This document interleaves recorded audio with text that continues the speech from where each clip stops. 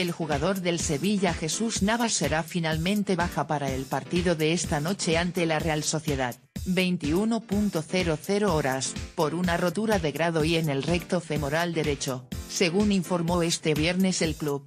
El extremo de los Palacios, reconvertido ahora en lateral derecho y uno de los baluartes esta temporada del equipo desde esa posición, no entrenó en la tarde del jueves con el resto de sus compañeros por unas pequeñas molestias que aconsejaron descanso, según comentó su entrenador, Joaquín Caparrós aunque el técnico sevillista esperaba que el palaciego pudiera estar apto para el choque contra los donostiarras, los servicios médicos del club le han diagnosticado esta lesión tras ser sometido a distintas pruebas. El Sevilla indicó que la vuelta a los terrenos de juego del Internacional dependerá de su evolución en los próximos días, si bien ya recibe tratamiento para poder estar cuanto antes a disposición del preparador utrerano. Los centrocampistas Roque Mesa y el francés Steven Zonzi y el atacante argentino Joaquín Correa son las novedades en la primera convocatoria del nuevo entrenador del Sevilla, Joaquín Caparrós, para el encuentro de este viernes contra la Real Sociedad.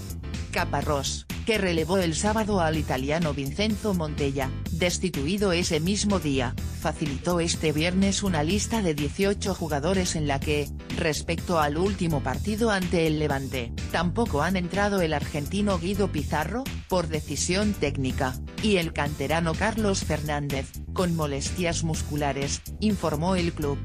Zonzi regresa a una citación después de que no viajara a Valencia por unas molestias y también por haber sido expedientado por el club, tras su salida nocturna en Madrid justo después del 5-0 encajado en la final de Copa contra el Barcelona. Roque Mesa sí estuvo en la lista para dicho partido, pero al final fue el descartado de los 19, mientras que Correa causó baja por problemas físicos. Siguen sin ser convocados por decisión técnica el central portugués Daniel Carrizo, el lateral brasileño Guilherme Arana y su paisano Paulo Enrique Ganso, así como el lateral francés Sebastien Corchia y el defensa danés Simon Caer, que aún no tienen la forma física adecuada tras haber superado sendas lesiones. Los 18 citados son los porteros Sergio Rico y David Soria, los defensas Layun, Nico Pareja, Mercado, Lenglet y Sergio Escudero, los centrocampistas Roque Mesa, Zonzi, Ever Banega,